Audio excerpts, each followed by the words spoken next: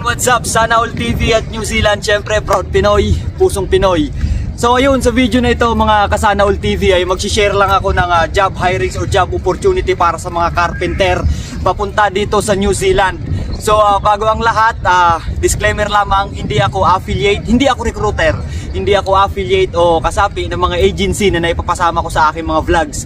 So wala akong connection sa kanila. So pakiusap na wag po sana kayo sa akin mag-apply dahil isa lamang po akong gabay.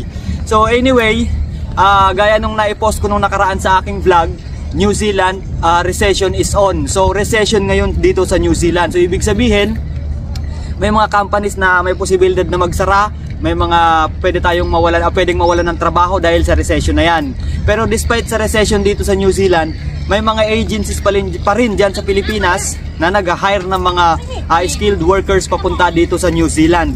So may pailan-ilan pa ring agencies kagaya na lang nung aking agency na 21st Century Manpower Resources. So may mga hirings pa rin sila ngayon. At sa video na ito, ang uh, uh, job hirings na ito ay para sa mga carpenter papunta dito sa New Zealand dahil ang Profile Overseas Manpower Services Incorporation ay hiring ng carpenters.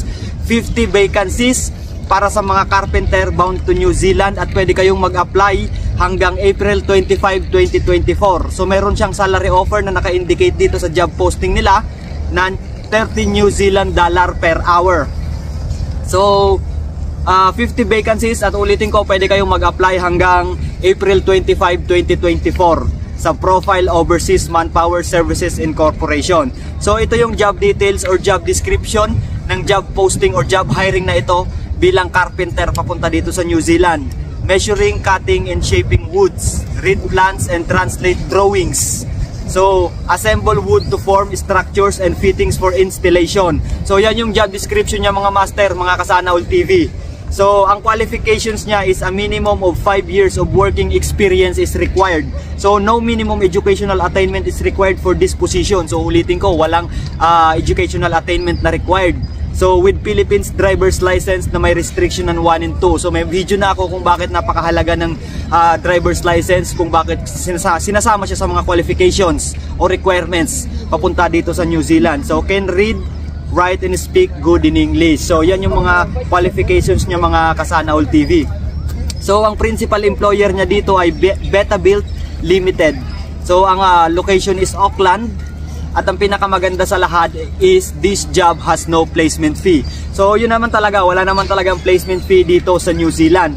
So kaya sa mga New Zealand job hunters dyan, mag-ingat kayo sa pakikipagtransaksyon nyo online. Kasi may mga mapagsamantala na ginagamit yung uh, New Zealand na walang placement fee at nanghihingi ng lagay o kung ano-ano man. So mag-ingat po kayo. So ulitin ko po, ang agency mga master is Profile Manpower Services Incorporation. So Rehistrado at uh, lisensyado po ito ng POEA mga master. Uh, ibig sabihin nito, may kakayahan or may uh, may rights ito na mag-deploy ng mga workers sa iba't ibang panig ng mundo lalo na dito sa New Zealand dahil meron silang rights at uh, registered at POEA license ito na agency. So ang kanilang uh, contact details mga master or ang kanilang address kung saan kayo pwedeng mag-apply is Unit 907 and 1010 Herrera Tower VA Rufino Corner, Valero Street, Salcedo Village, uh, Makati, Metro Manila, Philippines. So ayun, tama yung narinig mo. Ma located ang agency na ito sa Makati. So sa mga malapit lang sa NCR, malapit sa area, I, sug I suggest na mag-walk-in kayo kasi napakaganda ng mag-walk-in para ma-explain sa inyo details by details yung job na applyan nyo at kung ano yung mga kailangan nyong gawin.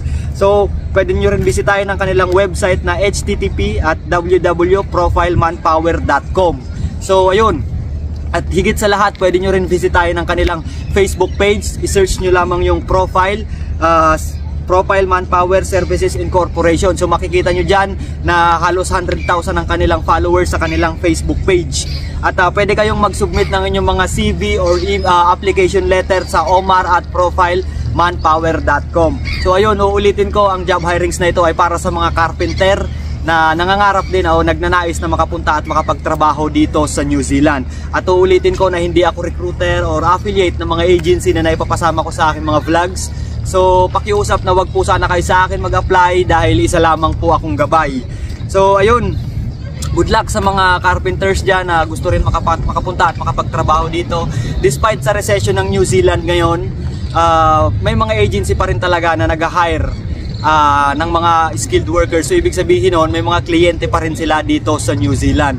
So ayun lamang sana ah, makatulong itong job hirings na ito, itong ah, video na ito sa mga karpin- karpintero na nangangarap din makapunta at makapagtrabaho dito sa New Zealand. So ayun lamang, maraming maraming salamat. Gusto ko muna magpasalamat sa lahat ng walang sawa at patuloy na tumatangkilik ng aking mga vlogs, ng aking mga content. Ah, Sana All TV at New Zealand, syempre, ah, proud Pinoy tayo at laging pusong Pinoy. So ayun, gusto ko lang i-shoutout yung lahat ng walang sawa at patuloy na tumatangkilik ng aking mga video. Syempre, special mention kay Mrs. Mahara Noblesa at kay Baby Andeng. Syempre, sa lola ko dyan sa Bicol, sa papa ko dyan sa Bicol, sa mama at papa, ah, sa mama ko, sa mga kapatid ko dyan sa Bulacan, sa tita kay Tita Bing at kay Tito Rico, sa lahat ng followers ko dyan. So, ayun, maraming maraming salamat sa walang sawa na pagtangkilik ng aking mga videos. So, ayun lamang, sana all TV at New Zealand, syempre, proud Pinoy, pusong Pinoy.